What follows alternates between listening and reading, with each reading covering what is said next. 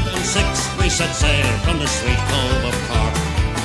We were sailing away with a cargo of bricks for the Grand City Hall in New York.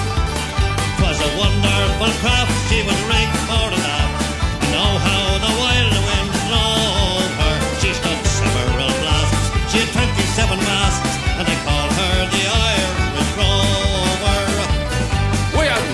Million bags of the best lawyer rags. We had two million barrels of stone.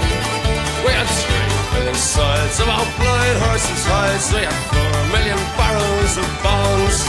We had five million hogs, six million doves, seven million barrels of porter. We had eight million bales of old nanny ghost tales, and the whole